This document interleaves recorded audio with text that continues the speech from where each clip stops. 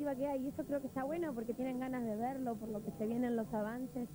La verdad es que estoy, si bien muy ansiosa y con muchas ganas de que salga, porque estoy muy segura de lo que estoy haciendo, estoy muy segura del equipo que tengo, de los autores, de la historia. Vimos un tráiler increíble y bueno, nada, es demoledora la imagen.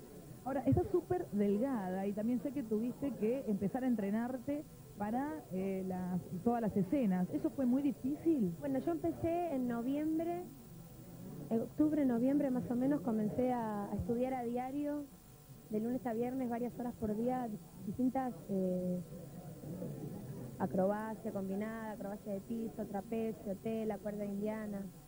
Y, creo que eso tuvo que ver mucho con eso que vos me decís, pero no fue a propósito, fue porque tengo mucho desgaste físico. Y ahora con las grabaciones entreno tres veces por semana también circo. Porque bueno, mi personaje es un artista de circo, y que si bien la historia no pasa todo por ahí, es, algo importante en, el proyecto. además obviamente lo querías hacer vos, porque si no podrían haber puesto una doble. Todo lo que vos ves, todo lo hago yo. Y al principio inclusive hago, si bien hago bastante, eh, vamos dejando para que a medida que transcurra la historia sea cada vez más fuerte. Pero bueno, y además te da el tiempo para prepararte. Y para seguir aprendiendo. La verdad que la gente de circo se portó conmigo, me abrió el corazón y, me dieron todos sus conocimientos y... Para seguir aprendiendo. La verdad que la gente de circo se portó conmigo, me abrió el corazón y, me dieron todos sus conocimientos y, es gracias a ellos gran parte de todo lo que yo logro hacer en lo que tiene que ver con el circo, ¿no? Digamos, ¿quién no soñó alguna vez estar en un circo? Seguramente de chiquita te habrá pasado, ¿no? De verte colgada. ¿Quién no soñó con volar? Y a partir de que yo descubrí el trapecio vuelo, a mí se me cumplió la fantasía de, volar. yo soy feliz arriba. Y es lo que le sucede a Carmen. Carmen no quiere tener contacto con el piso porque en el piso... Ella la realidad. Está la realidad y ella tiene una relación bastante difícil con los tipos y siente que su manera de escaparle a su mundo es volando y es lo que más ama hacer.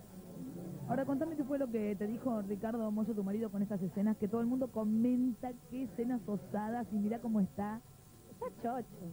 La verdad es que él me acompaña. No, lo que pasa es que él vio toda la metamorfosis y todo lo que yo trabajé para eso y él está de alguna manera orgulloso porque yo te digo, desde que comencé con el proyecto, no hubo un día en el cual yo no entrenara o no me preocupara o no pensara en el deseo. Y él, él gracias a, él también yo estoy tan relajada en un punto. Leí por ahí que el deseo es tu motor, es lo que te moviliza en todo momento en tu vida, ¿es así? Claro, porque yo siento que de alguna manera uno, eh, los deseos lindos, ¿no? Los deseos que no lastiman a la gente, los deseos de crecer como persona, de crecer como artista, eh, tienen que ver con los sueños y con cumplirlos. Lo que yo desearía es no desear todo el tiempo, porque uno se olvida de vivir lo que va consiguiendo. ¿Te pasa siempre, todo el tiempo eso? por suerte hace un tiempo ya que estoy tratando de, relajarme y, de, y de disfrutar lo que voy consiguiendo, ¿no?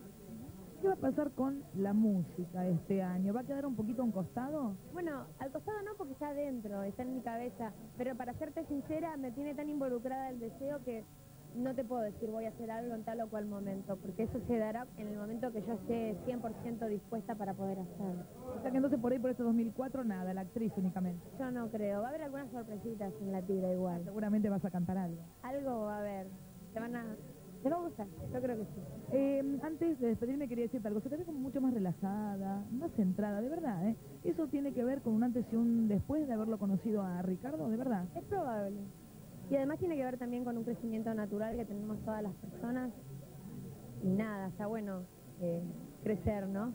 Era como más un torbellino, no sé, querés hacer 40.000 cosas al mismo tiempo. Tiempo, y de alguna manera sigo pensando igual y sigo haciendo mil cosas al mismo tiempo, pero con otra confianza, con otra seguridad. Con otra seguridad. Bueno, nos vemos en la próxima.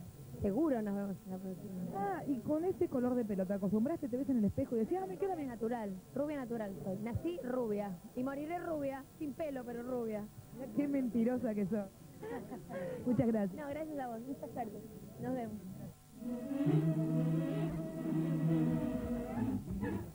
Mauricio Navarro, otro de los galanes de Natalia Oreiro, y ya preparado para el debut.